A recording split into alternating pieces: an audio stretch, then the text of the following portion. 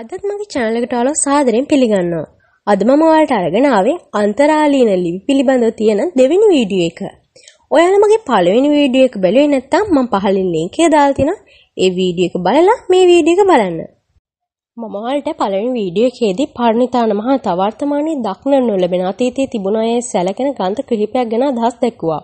ඒ අතර පවතින පරම්පරා පුස්තකය ගැන සෙනරත් පරිණිතාන මහතා අදහස් කිහිපයක් දක්වා තිබෙනවා. පරම්පරා පුස්තකය පළවෙනි වික්‍රම බහරජතුමාගේ කාලයේදී භද්‍ර නම් හින්නමක් විසින් රචනා කර තිනවා. ඒ අබේගිරි විහාරයේ අධ්‍යාපනය ලැබෙන හිමිනමක් වන අතර පැරණි ඉතිහාසයේ විවිධ කාල පරිච්ඡේදයේ ජීවත් වූ වැදගත් පුද්ගලයන් ගණනාවක් පිළිබඳ තොරතුරු මේ ග්‍රන්ථයේ ඇතුළත් වෙලා තියෙනවා.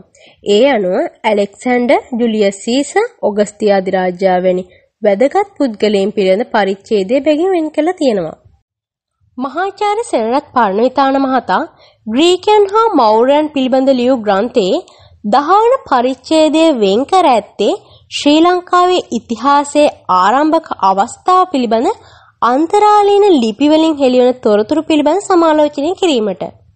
මේ පරිච්ඡේදයට අනුව මිහිඳු මහරහතන් වහන්සේ ශ්‍රී ලංකාවට පැමිණියේ දෙවන පෑතිස් රජුගේ දවස නොව උත්තේ මහරජුගේ කාලයේ බවත් මිහිඳු මහරහතන් වහන්සේ ධර්මාශෝක රජුගේ පුත්‍රයෙකු නොව සහෝදරයෙකු බවත් එළල් රජුගේ පියා ධර්මාශෝක රජුගේ පියාණන් වූ බින්දුසාර රජුගේ හමුදාපතිවරයෙකු බවත් එළල් රජුගේ සීයා ද්‍රවිඩ නොව ද්‍රමිඩ යන ගෝත්‍රයට අයත් පුද්ගලයෙකු බවත් මේ ද්‍රමිඩ ගෝත්‍රය කියන්නේ පර්තියානු ජනකණ්ඩායමට අයත් එක් ගෝත්‍රයක නාමයක් බව සෙනරත් මරණිතාන මහතා පෙන්වා දුන්නා.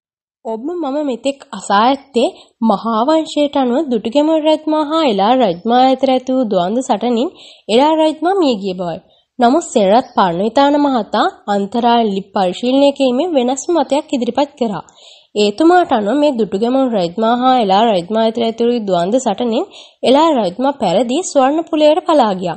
මේ ස්වර්ණපුරය කියලා පරණවිතාන මහතා දක්වන්නේ මැලේසියාවයි. මේ ස්වර්ණපුරයට පලා ගිය එළාර රජතුමා මිය ගිහින් ඇත්තේද මේ ස්වර්ණපුරය බව තමයි සෙනරත් පරණවිතාන මහතා පෙන්වා දෙන්නේ.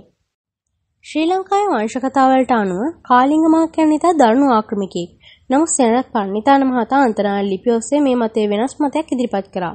ඒ අනුව ඔහු පෙන්වන්නේ ශ්‍රී ලංකාවේ රජකම සඳහා අයිතිවාසිකමක් තිබූ බවත් ඔහුගේ පියා නිශ්ශංකමාර රජුගේ ඉතා සමීප ඥාතියෙක් බවත් විශේෂම කරුණ වන්නේ කාලිංග මාගේ මව නිශ්ශංකමාර රජුගේ දියණිය වූ සර්වාංග සුන්දරී කුමරිය බවත් හින්දු ආගමිකයෙක්ගේ අපහාස කරලත් මේ කාලිංග මාග විශාල ලෙස ධනය වැය කර ඇත්තේ බෞද්ධ ආගමික කටයුතු වලට බව මේ අන්තරාය ලිපි ඔස්සේ සෙනරත් පරණිතාන මහතා පෙන්වා දුන්නා. සෙනරත් පරණිතාන මහතා උතුරේ රාජ්‍යයේ ආරම්භක රජු ලෙස කාලිංග මාග පෙන්වා දෙනවා. ඒ වගේම තමයි ඔහුගේ හමුදාව දෙමළ හමුදාවක් නොව මැලේසියානු හමුදාව බව සෙනරත් පරණිතාන මහතා පෙන්වා දෙනවා. සෙනරත් පරණිතාන මහතා විසින් මෙම අන්තරාය ලිපි පරිශීලනය කර ගනිමින් විශ්මිත තොරතුරු රැසක් හෙළි කරා. මෙම තොරතුරු වලට විවේචන එල්ලුණා. මේ විවේචන එල්ල කරේ කවුද? ඒ විවේචන මොනවද කියලා මගේ ඊළඟ වීඩියෝ එකෙන් බලාපොරොත්තු වෙන්න. අද මගේ වීඩියෝ එක හොඳයි කියලා හිතෙනවා නම් පහලින්ම subscribe කරන්න.